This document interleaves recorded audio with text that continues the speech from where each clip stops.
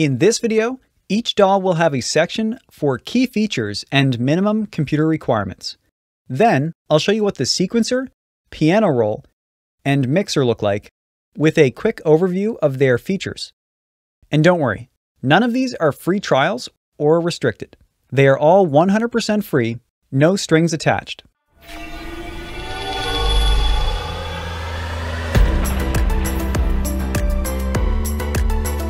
Hey everyone, Jake from Transverse Audio here. You can find all the links in the description below. And just in case you don't know what a DAW is, it's short for Digital Audio Workstation.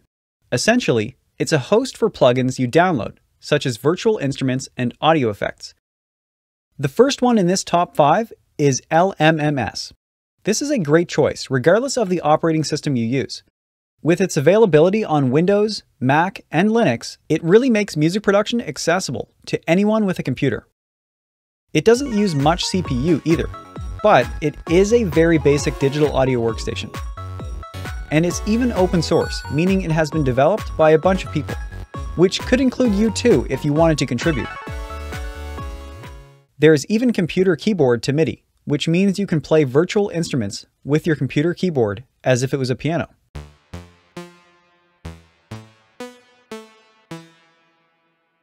The sequencer or song arrangement window isn't too bad in LMMS, but it is very basic and doesn't offer a lot of freedom. But it still gets the job done and makes it easy to manage your samples and patterns. This is what the piano roll or MIDI editor looks like in LMMS. It's pretty clean and easy to use, and has a great feature that lets you write any chord based on any scale with one click.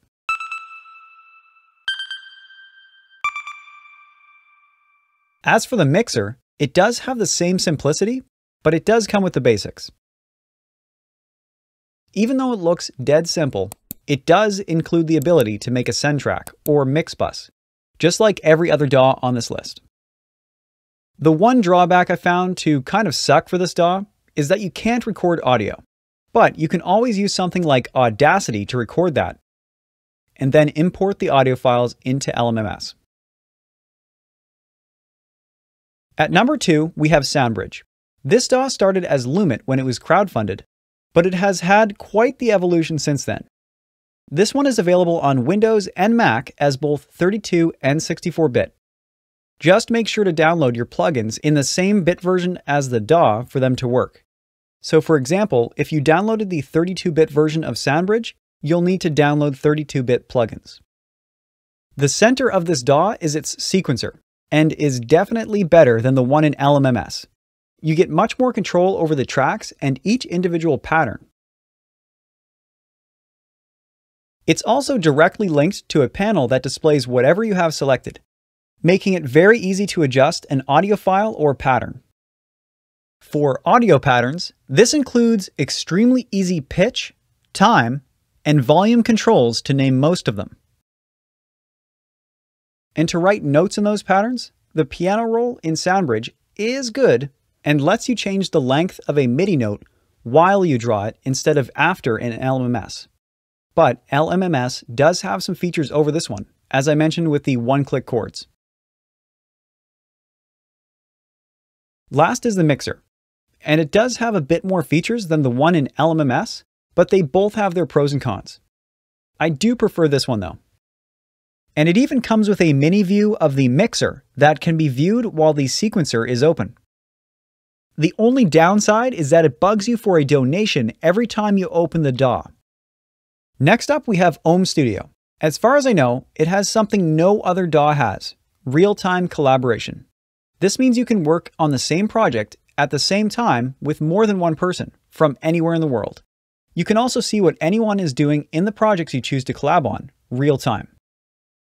There's even a general and project-based chat room in the DAW, so you can talk to anyone currently using Ohm Studio, or only those you are collaborating with. The sequencer has a bunch of flexibility though, letting you quickly zoom in and out of a pattern, or the entire playlist. Adjust volume fade points, loop, and resize in both directions. I do think this has a better sequencer than the last two DAWs, but the next one, it has an impressive set of features. But with this DAW comes an interesting piano roll to say the least. Being located in each MIDI pattern inside the sequencer itself makes it one of a kind. Quite unusual, but it's actually not bad at all. As for the mixer, it's pretty straightforward, and the guides help you understand what you can and cannot do. But it can also be switched over to a more analog kind of view. It even changes focus depending on what track you select in the playlist. The two things I did notice that are a bit of a drawback are the fact that you can only export to OGG format with the free version, and you need to be connected to the internet to use this DAW. OGG isn't that bad anyway, but you can export to Wave if you pay 39 euros for the advanced version of this DAW. If you have used Tracktion T7 before, this may look familiar. That's because Waveform Free is the latest version of it, just with a new name. What Tracktion as a company does is every time they publish a new version of their paid DAW, Waveform, they will typically release an older version of it for free. Now, this DAW does have the ability to use your computer keyboard as a MIDI controller, but it's kind of a hassle and awkward to use. But hey, at least it's there if you need it. The sequencer in waveform is kind of confusing at first, but once you get the hang of it, the workflow isn't all that different, and it actually has a lot of unique features. You can anchor the MIDI and move the pattern around it, or vice versa, and it's super easy to bounce to audio. All you have to do is click this option and drag it. Waveform's piano roll is really good. You can adjust the velocity of each note when you are drawing it by dragging up and down and you can adjust the width going right and left. You can even make chords with whatever notes you have selected, whether it is multiple notes or a single note. As for mixing your audio, you can either use the integrated mixer to the right of the sequencer or a dedicated mixer window by going to the top right and bringing it into view. The mixer is quite standard, but when it comes to making send tracks, aka a mix bus, they are called submixes and have to be created in the sequencer, but can then be routed in the mixer or the sequencer. The last DAW on this list is Cakewalk by BandLab. This DAW was once called Sonar when it previously cost money, but it was acquired and made free to use. From my experience, this has got to be the best free digital audio workstation out there.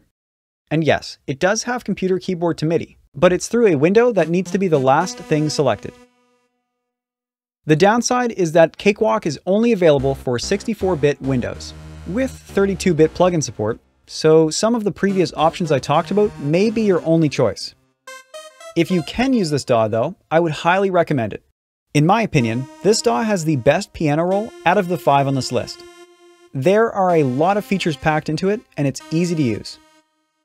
And if you are a more traditional composer, it has a great notation editor that you can use to write sheet music. As for the sequencer, it is good. Everything is where you need it, and there are a lot of features, including a video display to edit the audio with the visuals.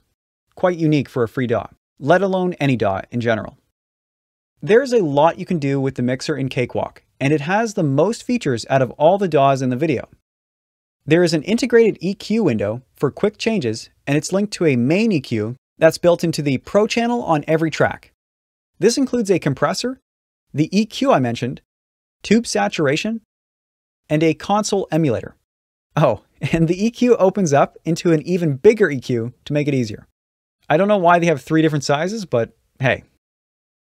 Now, I would have mentioned GarageBand, but if you have a Mac, you probably either heard about it or have it already.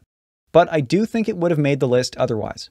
So be sure to check it out if you use a Mac, especially if you are interested in using Logic Pro in the future. I hope this free software helps you make some great music, sound effects, or other audio related projects. Don't forget to subscribe if you enjoyed this one, and as always, thanks for watching.